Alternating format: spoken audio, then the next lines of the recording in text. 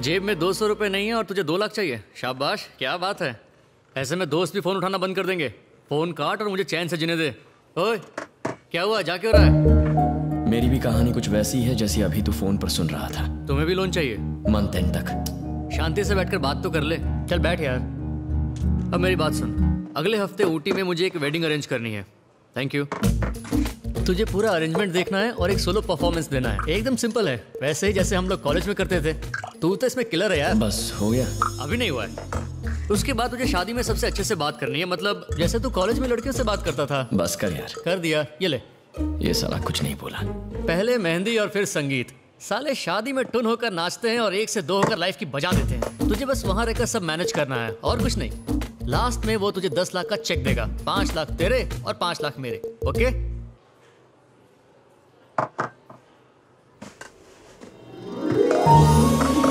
बस कर पगले रुलाएगा क्या? मुझे लगा कॉलेज की दुश्मनी की वजह से तू मेरी मदद नहीं करेगा। है, कुछ भी बोलता है। है।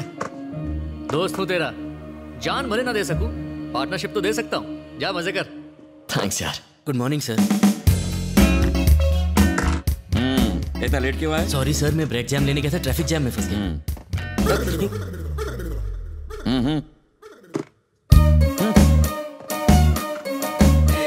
मॉर्निंग सर इतना लेट क्यों आए? ब्रेक जैम लेने गया था। ट्रैफ़िक जैम में फंस गया। क्या परम?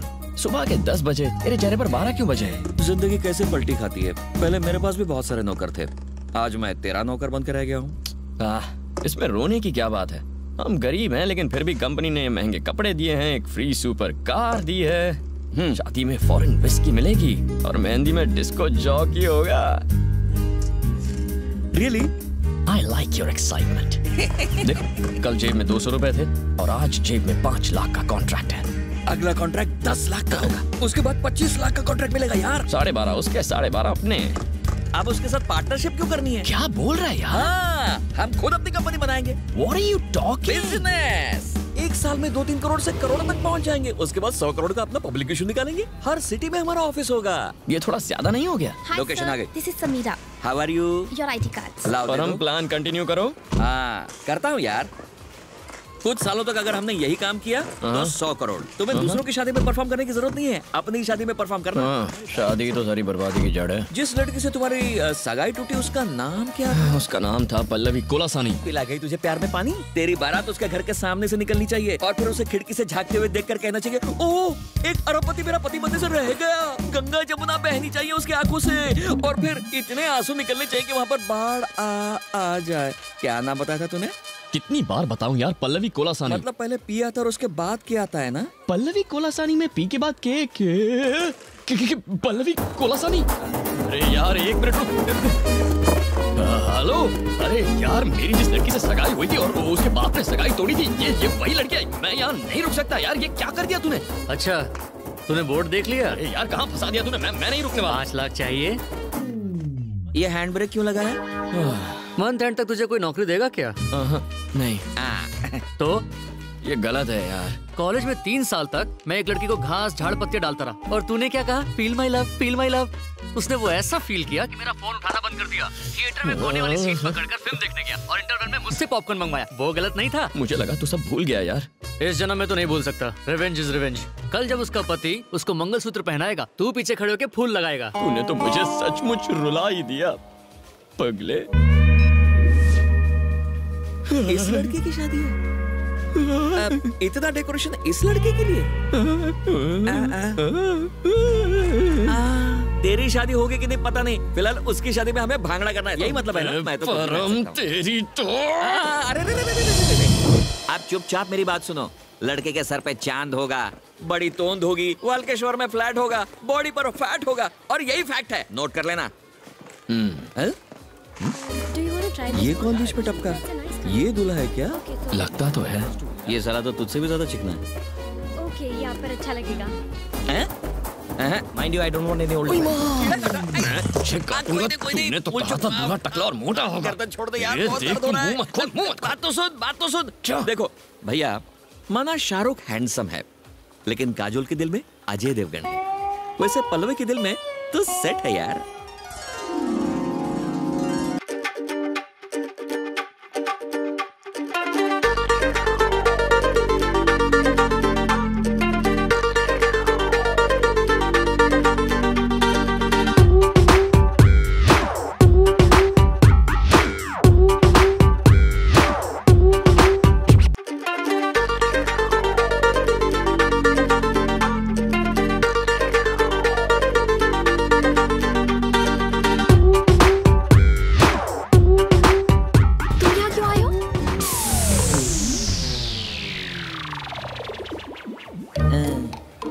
यार। वो तो पूछना चाहती थी कब आए। और एक्साइटमेंट में पूछ बैठी क्यों आए?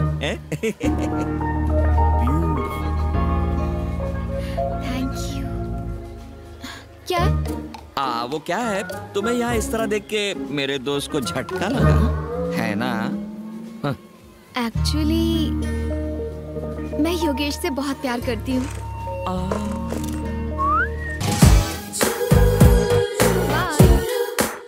क्या ढूंढ रहे हो बॉस अरे बाबा रे निकलने पर हाँ बात तो हो गई।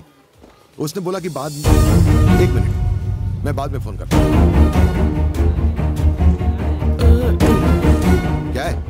कटिंग सर किस लिए? क्यों? क्लीनिंग सर मैं इसकी बात नहीं कर रहा। तुम यहाँ क्यों आए हो? शादी देखने आए हो या शादी तुड़वाने? अरेंजमेंट करने सर बताओ कितने पैसे लोगे यहाँ से जाने के पाँच लिए लाख उसके पाँच लाख मेरे। इसको कितने पैसे मिलने वाले? मुझे क्या? जाओ मैं किसी और को बुला लूँगा अरेंजमेंट के लिए। ठीक है। अरे किधर जा रहे हो? गेट उधर है। जानता हूँ लेकिन दूल्हा तो इस तरफ़ है ना सर? हाँ तो? एक्चुअली मेरे डैडी के जाने के बाद आपने सगाई तोड़ दी क्योंकि हमारी सारी प्रॉपर्टी चली गई और फिर पल्लवी को लेके आप चले गए। अगर मैंने योगेश को पूरी बात सच नहीं बताई तो ये चीटिंग होगी ना सर? आ, मतलब क्या कह रहे हो? जीजा जी मतलब हाँ? मज़ाक मज़ाक में आजकल लोग मुझे एचएमटी कहने क्या लगे सच में? हाँ मेरी आदतें ही कुछ ऐसी हैं कि लोग मजबूर हो जाते हैं। क्यों ना हो सर? आप टाइम के इतने पंक्चुअल जो हैं लोग आपको देखकर घड़ी मिलाते हैं। अरे अरे दस बज गए।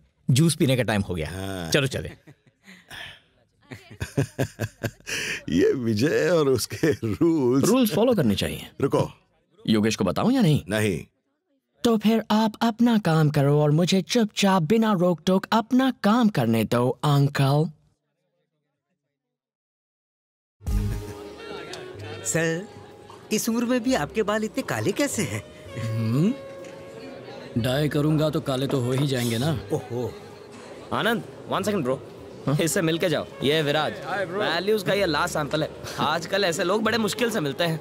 ब्रो हाँ यार तुम भी। क्या ख्याल है? एक बढ़िया सी स्पीच हो जाए। अरे योगेश अरे शर्मा क्यों रहा है? चलना come on. अपने दिल की बात बोल दो। मेरा एक दोस्त जिसके पास ढेर सारा पैसा है उसने आज मुझसे एक सवाल किया। महानता किसमें है? लेने या देने में? क्या ज़रूरी होता है? हारना या जीतना? रावण ने सीता का अपहरण किया। राम के हाथों मारा गया। सीता से दूर रहता तो नहीं मरता। कौरव जुए में जीत गए थे। कुरुक्षेत्र में हार गए। जुए में हारते तो सारे भाई पार्टी करके आराम से ज़िंदगी जी रहे होते। सो कभी कभी हासिल करने से छोड़ना बेहतर होता है। जीतने से बेहतर। हारना होता है। क्या बात बोलिए सर? तीर एकदम निशाने पर बैठा है। सर इस उम्र में भी ये कितना समझदार है? देवताओं की कहानी सुनाना एक बात है लेकिन ज़िंदगी जीना दूसरी। मोहन कैसी चल रही बात? आज के बाद ऐसी बकवास पार्टी में मत बुलाना। ये विस्की है या पानी? हट जाओ। अरे मोहन अरे ऐसे क्यों बोल रहा है? ए, मोहन रुक। चल चल एक पैक मान लो। समीरा अरे नहीं ओए समीरा। एक और एक और एक और ओए सुबलक्ष्मी सुब्बा लक्ष्मी वही तो उसका असली नाम है। What a sexy name. Subba Lakshmi sir चकरा रहा है यार कॉफ़ी मंगा। अरे सुन ना। अरे छोटा आया पैकेट बुला रहा है। यहाँ। सर ये डेकोरेशन किसने करा है?